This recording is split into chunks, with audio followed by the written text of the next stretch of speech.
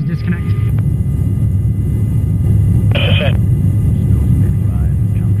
Moving down and back. There's 50 feet out.